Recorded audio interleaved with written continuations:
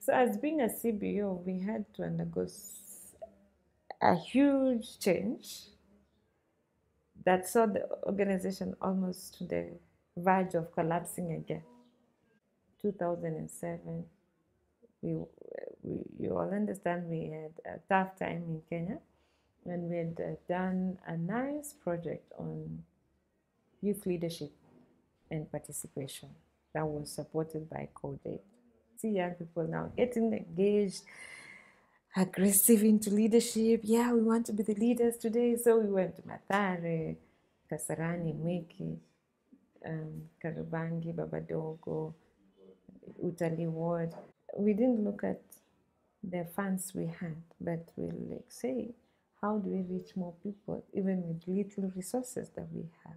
As long as we can be facilitated transport, we ask the young people there not to travel to the venue because we meet them at their own corners, even if it's it, where they call their, their base, we just go sit down with them and talk to them. Then what happened after the post-election violence, things did not work well, but we said, okay, we'll still hang on and see if we're still going to make it. It, it was proven wrong maybe at some point. It didn't work. Uh, some of my colleagues, when going to the bank after withdrawing money around uh, 97,000, close to 100, uh, 100k, they were robbed at a gunpoint. And so there's no moving forward. That's around 2008 March. It took us back to zero. People wanted to move with it and how do you engage now? How even do you tell your partners and donors that you you've been kidnapped and robbed at a gunpoint? how do you start explaining things? It was like a dream. This this hit us because you know it used to happen to so many other organizations, especially eh, hospitals. Like most of the hospitals, which were almost raided every other day Provide International, to my news. The doctor has been robbed. A doctor has been, a nurse has been gunned down. Koch was a little bit of. We had to learn the hard way. That was a hard way on us. Everything came to a standstill. And that was either the death of the organization. Of course, many people say, ah, Miss Koch ilikufa waliiba pesa, watu waliibiwa pesa, so we are no, it's no longer there. I looked at myself and I said, no, mission not yet accomplished. There's a mission that's still to be completed. And this mission, are girls going to school. So I had to take a bold step again. I had to go back, marshal some young people like girls and said, okay, what do you think we can do? It's almost like Miss Koch is dying and I'm, I'm at the center of everything. Uh, what do I do? But again, I had to pray because that's the only thing that can give you assurance of where you want to go. I had to pray, and then I said, okay, I still have friends. I will not give up hope. I'll go to those friends, talk to them, tell them what happened, and ask them, are we still going to go on? Or this is the end? So I didn't believe in like get letting go because I was looking at the girls going to school. We've not paid their school fees. What do we do? This girl has to be in school.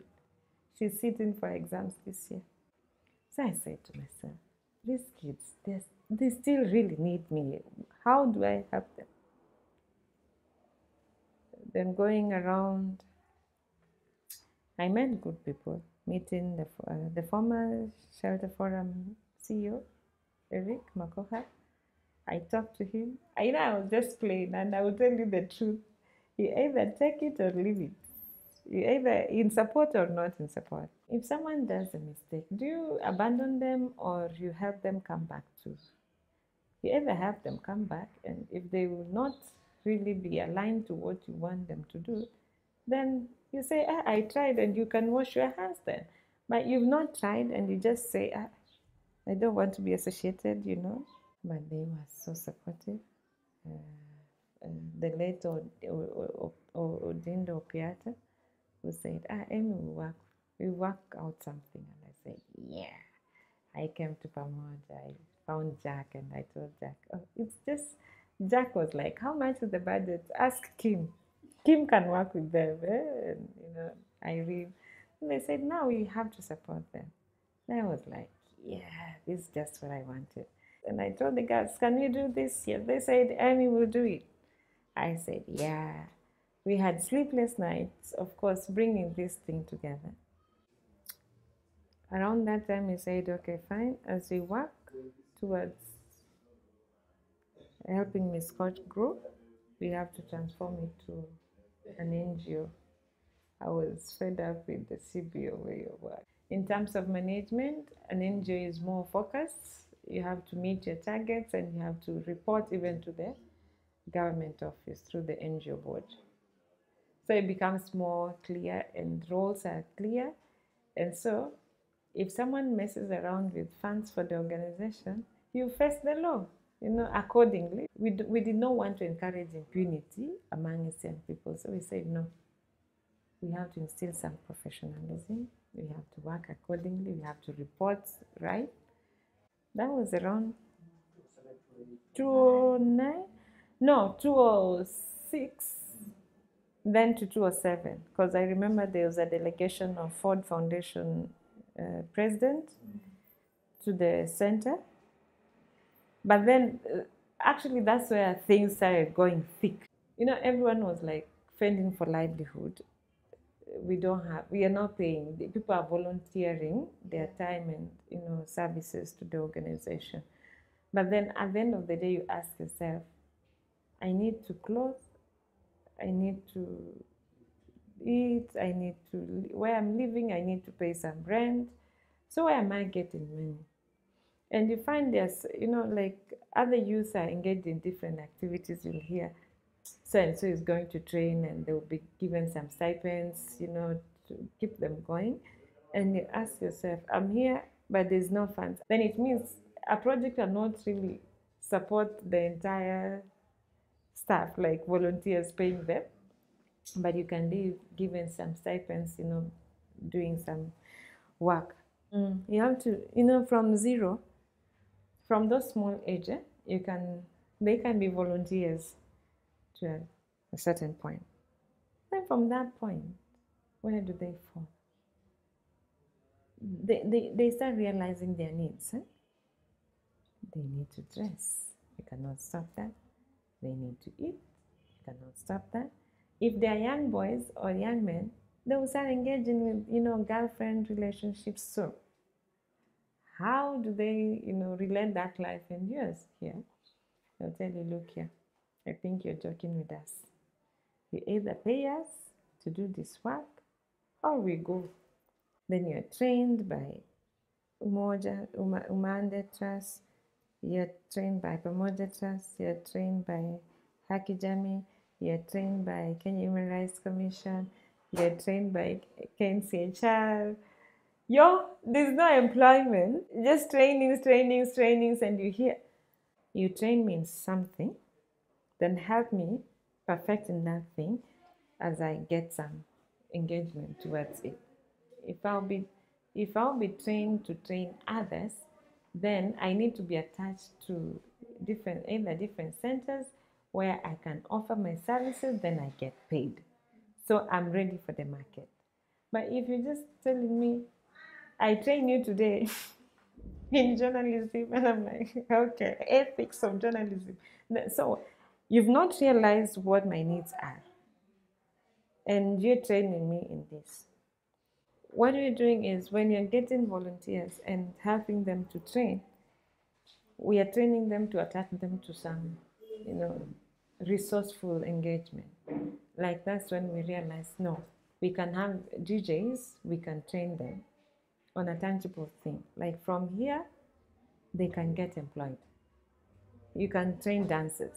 From here, you can say we have we are a group of dancers, and uh, sorry, we are a group of dancers, and we can engage different institutions, we will be paid. You know, it's an income generating, you know, kind of activities because when you train me and you don't give me an angle that I can relate this training to an income, it becomes it becomes uh, there's no point. Rather, you leave people start trying to think and they are wallowing in all those experiences, then they don't know where do I place this. I'm a peace ambassador. Where do I place that? But when you train and train and train, train and train and train, and then what you're training is not forthcoming, ah, yeah, it's just like you're wasting more resources into training rather into building someone. So those are some of the lessons I've learned along the line. Like how do we make a successful career from you know just a small thing. I believe doing small things, not big things. If you're if I'm like I'm a child-centered person, I could be trained towards that and then led to either work for a child centered institution. And that in return, even if you'll be on an apprenticeship, you know at the end of the day, someone will employ you because someone is seeing what you're doing.